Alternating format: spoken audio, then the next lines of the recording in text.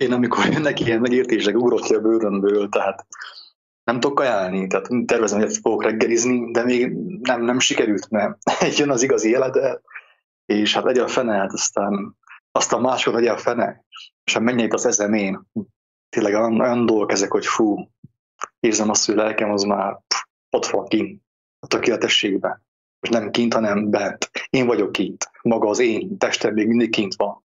És ha nincs meg ez az elede neked, ami miatt te nem mész reggelizni, akkor én örökké azt szoktam magamon észrevenni, és valójában ezért van manapság ennyi elhízott ember, mert a fizikai táplálékkal nem tudsz jól lakni. Ennél, ennél, ennél finom, jól esik, még több kell, még több kell, még több kell, és nincsen a tehetségérzet. Mert az valójában nem tölti el az embert, már azt az embert, aki ugye az élet után sóvárog a valódi élet után. Én ezt tapasztalom mindig, hogy azért eszik annyit ma ez az ember, mert nincsen neki valódi eledele, és a, a hamis eledele nem lehet jól lakni, mert az hazugság. És abból aztán akár mennyi kell a hazugságból. Mert hogy ma már sajnos az étel is hazugság, mert a kenyér nem kenyér, ugye a liszt nem liszt, a, semmi se a tej nem tej, azt már akkor is hazugságot teszünk, amikor azt mondom, hogy egyek meg egy kenyeret, és én megeszem a nem kenyeret, kenyér helyett, ugye? Tehát a fizikai táplálék is már, már teljes mértékben hazugság. Ennyire, ennyire nyilvánvalóvá vált, ennyire megtestesült, ennyire megteremtettük azt a hazugságot, ami ma tulajdonképpen a mai társadalom, a mai rendszerek ugye alapja, ugye a hazugság. Tehát annyira, annyira ezt tettük, hogy, hogy most már fizikailag is megvan valósulva, most már semmi se az, ami. Tehát most már minden hazugság fizikailag is. Nincsen, nincsen igazság. Fizikailag már nincs, nincs igazság, azt most már el lehet felejteni teljes mértékben. Jó, és még ehhez egy annyit hozzáfűznék, hogy ugye most rengeteg a rákos ember, rengeteg a, a hazugság, amit megeszünk úgy fizikailag, mint lelkileg, és ma kezdenek nyilvánosságra kerülni olyan adatok, miszerint kelet-német és nyugat-német, ugye ott volt a kettő között a, a fal, és nyugat-németben sokkal hamarabb kezdtek tömegesen rákosak lenni az emberek. Miért? mert oda az a babiloni hazugság, ami Kelet-Németországban a falon túl nem juthatott el, az sokkal hamarabb eljutott ugye Nyugat-Németországba. És most már látjuk fehéren-feketén, hogy, hogy sokkal több rákosság, sokkal hamarabb megjelent a tömeges rákosság, és amikor leomlott a berlini nagyfal, akkor a keletnémetek is kezdtek ugyanúgy felzárkózni, mert a nyugati hazugság, ugye a babiloni hazugság oda is kezdett begyűrűzni. Ez a fal, ez a rabság, ahogy ugye olyan sokszor olyan szépen megnyilvánítottátok, hogy inkább börtön, mint a, a kárhozat. Tehát addig, amíg a fal mögött börtönbe voltak, addig valamelyest védve voltak ugye ezektől a dolgoktól, és mi is a kommunizmusban ugyanígy, ugye azért rabság volt, de valamelyest védve voltunk a babiloni hazugságtól. Volt helyette más hazugság, de az kisebb hazugság volt, az mégis arra volt jó, hogy ne legyen annyi olyan szintű babiloni hazugság, ami ugye a rákbetegségnek ugye az alapja, mert most keresünk egy csomó fizikai dologba ezeknek a bajoknak a a problémáját, de ez nem ott van. Tehát az először belénk kerül, de nem fizikailag elsősorban, hanem ugye a szellemiséggel, amikor azonosultunk, megkajáltuk, azt elkezdtük áhítani, elkezdtünk azután sóvárogni, a szívünk megtelt vele, akkor ugye kezdtünk ugye mi is rákosak lenni. Na és a fal mögött ugye az emberek nem lettek rákosak, mert nem ért el hozzájuk az a szellemiség. Leomlott a fal, elért a szellemiség, rögtön kezdtek a rákos betegek megjelenni ott is nagyon komoly. Tehát a rákos betegség úgymond rámutat a, az embernek a lelki állapotára, tehát pont a, a jelképesen a kárhozatra, hogy az ember a hazugság hite által, most már mondhatjuk úgyis a vak hite által, tehát vágyakozik a, a nyugalomra, a kielégülésre, a megelégedésre, a békességre, de a hazugsággal azonosítja, ezért mit csinál? Tehát mindazonáltal, hogy megvannak benne a hamis életképek, saját magát felemészti, pontosan annak okáért, hogy nem tudja azokat semmilyen úton, módon elérni. Bármennyire fejlesztheti önmagát, bármennyire szeretheti önmagát, bármelyik egyik vallásból át mehet a másikba, tehát ez amikor, ez amikor már annyi mindent megpróbált az ember, az istentelen ember, és, és már egyszerűen nincs, nincs reménysége, hogy valaha tehát tudatában van valamelyest, hogy vágyai elérhetetlenek, mindazonáltal is, hogy már kifutott az időből, már ugye betegeskedik, vagy megöregedett, vagy akármi, mert ugye a, lél, a lelki állapota leképezte a testére a, az állapotát, és akkor így, így megjel, megnyilvánul a rák, hogy az embernek a lelke konkrétan kárhozik, tehát már elkezdődött a kárhozat, úgymond a lélek feldarálja, felemészti nem csak, nem csak a lelket, hanem a, a testet is, testestől, lelkestől. Ez nagyon durva. És még egy érdekesség, hogy tényleg az Úristen milyen pontosan megmutat mindent mindenkinek. Lehetett volna ez fordítva is, de milyen érdekes, hogy pont nyugatnémet, tehát ő megmutatta, hogy nyugatról jön Babilon, ugye? Lehetett volna Kelet-Németország is az, aki nem a, az akkori kommunizmust testesíti meg, ugye, azt lehetett volna nyugatnémet is, de nem. Úgy rendezte az Úristen, hogy mi világosan lássuk ezeket a dolgokat. Tehát a nyugat és kelet közti különbséget, ami mai nap, most per pillanat zajlik, hát ugye ott van az ukrajnai háború, és egyik felülről nyugat, másik felülről kelet, ugye? És teljes mértékben megmutat, ugyanez az irányvonal, ugye? És ugyanezek a következmények. Hova pártolunk? Sehova se kell pártolni, csak hogy szellemiségbe, ugye? Szóval melyik az, amelyikbe belekeveredünk a rabság az, amiben belekeveredünk, vagy ugye az örök kárhozat, amiben belekeveredünk. Mert attól, hogy, hogy ha kelet-német lett volna az, ami nyugat-német volt, hát a skandináv államokból úgyis be tudott volna Amerika, a babiloni szajhaság gyűrűzni, de nem onnan jött. Világosan megmutatta az Úristen. Itt a fal, kelet, nyugat. Kész, nem volt más. Igen, az Úristen ezt valamelyest minden nemzetnek, minden korba ezt. Én ezt nekem Mózes által mutatta meg, tehát amikor a tengert ketté választotta, tehát egyik oldalon ott állt a kelet, másik oldalon a nyugat, ugye a népek tengere ketté volt választva, az egyik volt a törvény, a másik, a másik oldal pedig volt a, a törvény ellen lázadók, ahogy most jelenleg is van, fallal, fal nélkül tehát ezt nyilvánvalóvá tette már ottan, és akkor is ott volt a harmadik kisebbség, ugye a kihívottak a pusztába, akik miatt ketté választotta, és akik miatt és akikért, hogy láthassák mind a két oldalt. És ugye keresztül vezette őket, tehát teljes oltalomba voltak, még mielőtt a két oldal egymásnak ugrott volna, tehát még mielőtt kitör, kitört volna a lázadás, tehát az akkori lázzongás, az akkori háború, és hát a Mózes által vezetettek, ugye ők ezt megúzták, oltalom alatt voltak, nem voltak ennek részesei, tehát a tenger, tenger közepén utat csinált nekik, keskeny utat, és hát ugye a hullámok őket nem érték, tehát abszolút nem érintkeztek a tenger, népek tengerének a problémáival, se a jobb oldallal, se a bal oldallal, se a kelettel, se a nyugattal. Viszont ugye hol buktak el ők, hogy hát ez adhatott nekik egy hatalmas önbizalmat, úgyhogy észre sem vették, és hát azt hitték, hogy már megérkeztek közben, akkor kezdődött a nagy utazás, vagy a szembesülés a pusztában, ugye a, a, a tisztulásért, tehát ott kellett volna szembesülnek azzal, hogy ugyanúgyan megúsztátok a megúsztátok azt, hogy a tenger benneteket is elnyeljen, megúsztátok a háborút, de viszont ez nem azt jelenti, hogy ti kevésbé lennétek mentesek azok bűneitől, bennetek is ugyanaz megvan, tehát ezzel kellene kellene szembesülni, és aki ezt megcsinálja, ugye az ehet a mennyei mannából, és hát Mózes által tett rengeteg csodát, az Úristen, hogy ne vigasztalásul, hogy ne keseredjenek el, hogy még ott vannak a testi,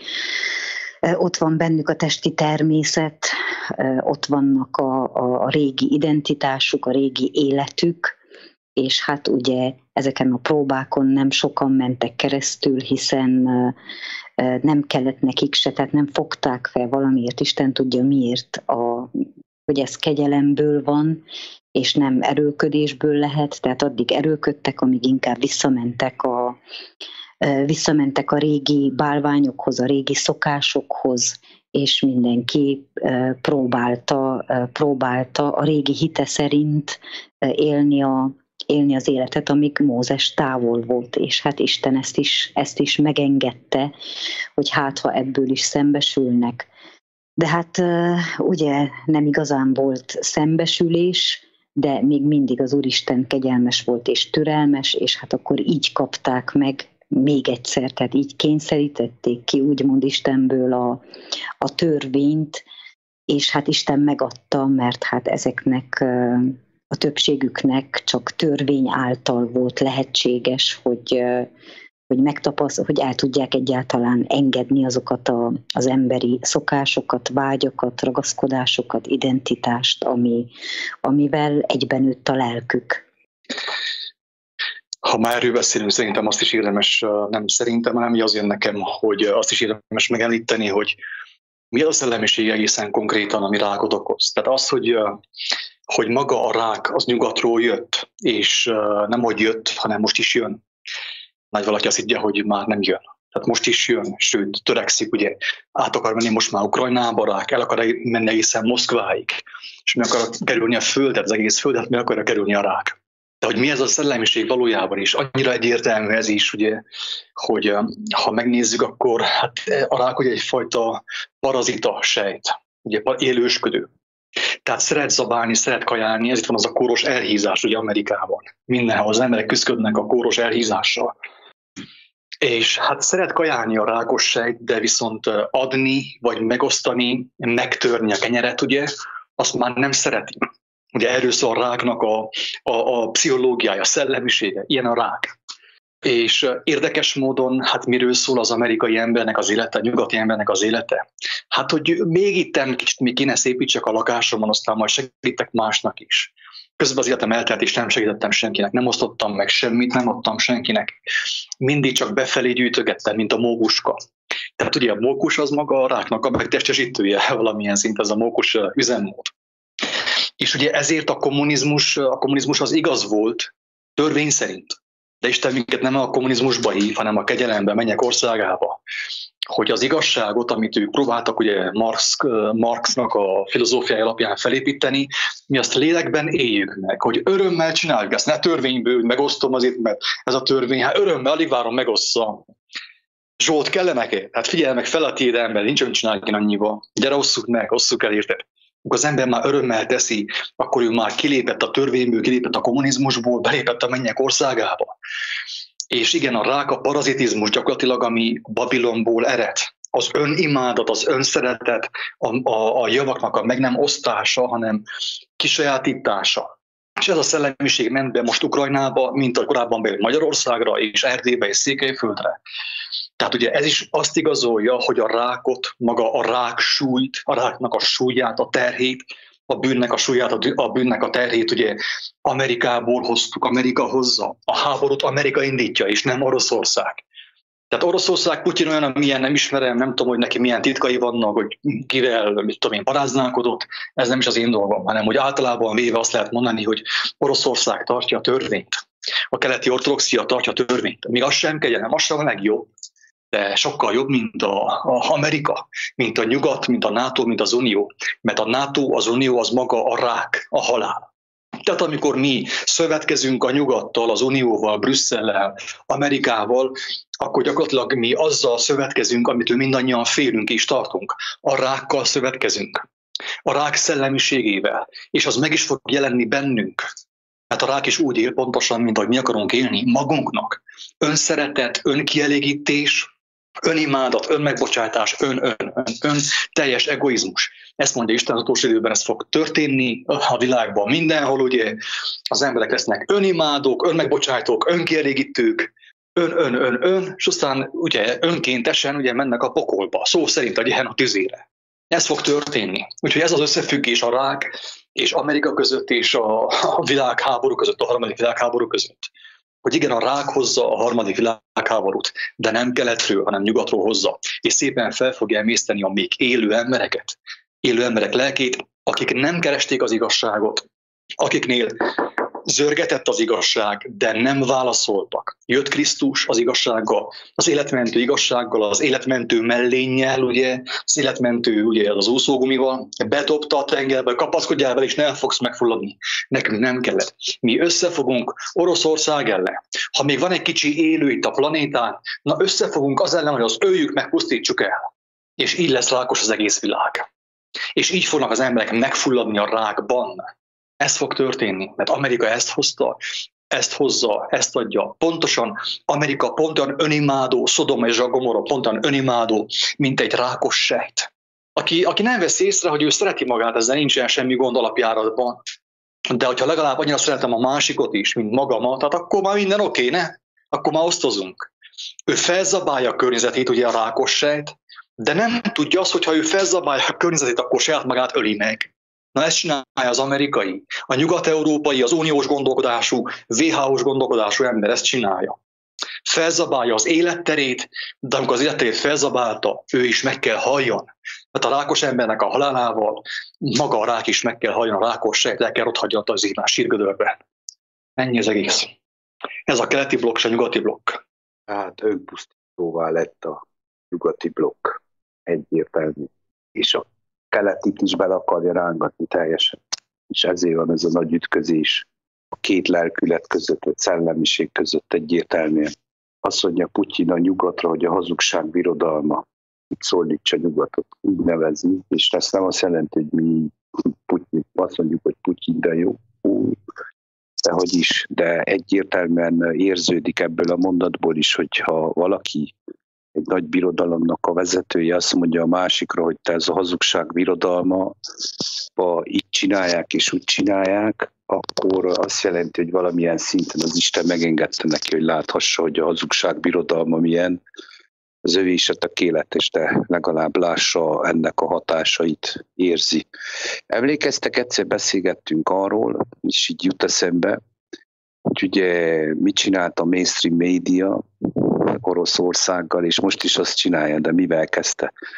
Kivonul a KFC Oroszországból, a McDonald's, a Pepsi, a Cola, az iPhone, a, a mondjad, amelyik a nem tudom milyen porno oldalakat letiltottak a netről. Hát egyértelműen jelzett az Isten, hogy most tisztítsa meg Oroszországot a Szodoma és Gomora lelkületétől. Egyértelműen. És ugye ezt hogy éljük meg mi nyugaton? Jű, hát ezek nélkül nem lehet élni. Hát már egy Ocean nélkül se lehet élni, se egy Lidl nélkül se lehet élni. Ez egy nagy hazugság. Ezt a hazugságot bevettük mi, nagyon sokan, és azt hiszük, hogy ennélkül nem lehet élni, de lehet élni. Sőt, én elmondom nektek, nekem az jött, hogy ezekben az időkben, amikor lesz itt a nagy éhínség, nyomorúság, mert ez is egy kegyelmi idő, meg fogja mutatni Isten az övéink keresztül, hogy nekük lesz, mindig lesz, mindenük meg lesz. Mert aki elhitte, hogy csak a lidl keresztül van élet, és a bevásárlóközponton keresztül, annak nem lesz, mert be lesz zárva minden, és úgy meg fog drágulni minden, hogy betoljik mindenki, és aki ezen lóg, annak nem lesz. És a másik, aki felismert Isten kegyelméből, annak az Isten mindig is kirendelte, ti is tudjátok, a kommunizmusban állunk, és ezután is ki fogja rendelni. Akkor a nyomorúságot a kommunizmusba, és nagyon sok embert láttam közben, hogy bőségben éltek. Nem pártitkárokról beszélgetek, se nem a papokról, nem egyszerű emberekről, akik egyszerűen éltek az egyszerű tiszta életet egyszerű kis év, mindenük megvolt. Bőségesen. Sőt, a szomszéd öregnéninek is vittek, hogy legyen neki is, mert meghalt a férje. Na, itt kezdődik.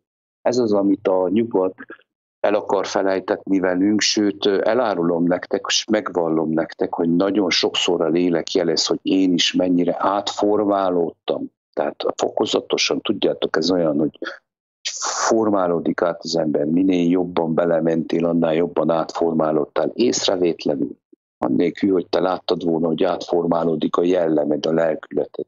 és erről többször beszélgettünk már, hogy a legelső sokkot akkor kaptam, amikor a másik azt mondta nekem, hogy ugye neki ingyen dolgoztam, azt mondta nekem, hogy hát de hát a barátjának miért akarok ingyen dolgozni. Tehát én délután nem tudtam erre jönni ebből, hogy ez hogy működik. Azzal mentem, ültem a, soha nem telejtem el a folyósón, ahol laktam, és ezen gondolkodtam, hogy ez milyen gondolkodás, nem tudtam fölfogni a gyilak. Na most már értem, ez a baj, hogy most már értem, hogy milyen gondolkodás ez. Akkor nem értettem, nem tudtam megemészteni, hogy, hogy, hogy ez mi akar lenni. És amivel értem, így, így nekem is fennáll a veszély, hogy mivel tudok róla és értem, fennáll a veszély, hogy engemet is befertőzhet. És olyan csavaros gondolkodások vannak komolyan, hogy hihetetlen. Tehát egyik nap is tapasztaltam egy olyan dolgot, hogy földobják a labdát, így puff, fölrúgják, és akinek a tekintete rátapad a labdára, na az már esélyes, hogy a csalit bevegye. Na, nagyon kemény, nagyon kemény, mert ugye itt minden a pénzről szól. Őrület, undorító, felfordult a gyomrom ettől. Felfordult a gyomrom, és mondtam, hogy nem is akarom ezt hallgatni, látni is akarom. Egyértelműen éreztem, hogy ez teljesen a lélek ellen dolgozik. Szörnyű, tehát, és így, így van, nem bíbáztatom őket.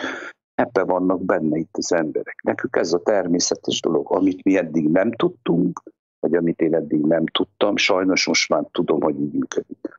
És ezért van az, hogy a kecskepásztor az valójában az én szemembe, megmondom őszintén is, akár mit mondanak róla, valójában maga az angyal ezen a földön. Ő nem hallja és nem lássa ezeket a dolgokat biztos, hogy így megboldogul, így, így akár mindegy, hogy mi történik vele.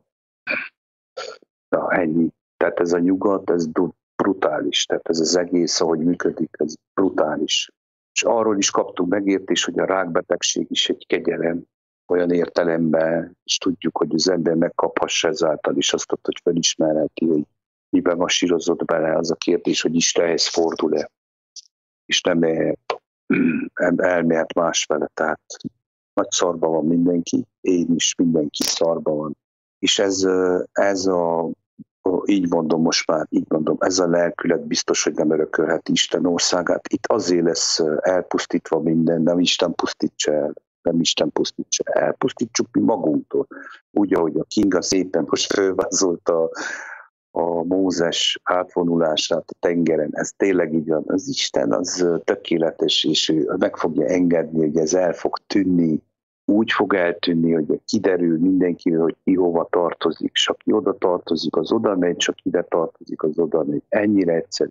Így kár erőlködni. Egyértelmű, úgy mondom kár erőlködni, hogy kár ezt megmagyarázni, mert aki az igazságot nem akarja meghallani, az mai világban gyerekek pillanatok alatt nyakig van a trutypádba, és még mi is legyünk őszinték, hogy naponta lélek által lelki, szellemi lelki hazba vagyunk itt Pesten. Ez nagyon jó, amit mondasz, Tibor. Tehát igen, a rákos betegség, amikor már testi megnyilvánulása van, akkor Isten kegyelme, hát az önmagamról mutatott kép, illetve ő mutatja meg, hogy tessék, nézz szembe, ez van, ez vagy te. Na, nem ilyen nyersen, de az embernek nyilván egy lehetőség arra, hogy, hogy kérdéseket tegyen fel, befele forduljon, és hát olyan fájdalmak közepette ugye Istenhez kiáltson, és hát akkor ő egyértelműen ezzel fog szembesíteni, hogy ez mindannak az eredménye, aminek, aminek éltem. Tehát igazából egy önarckép a kegyelem.